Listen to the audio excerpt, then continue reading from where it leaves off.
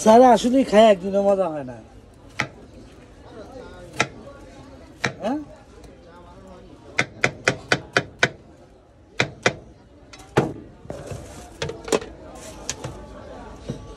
ভাইয়া সামান্য বিট লবণ দেবে একটু? হ্যাঁ বরফ বাড়া দেবে।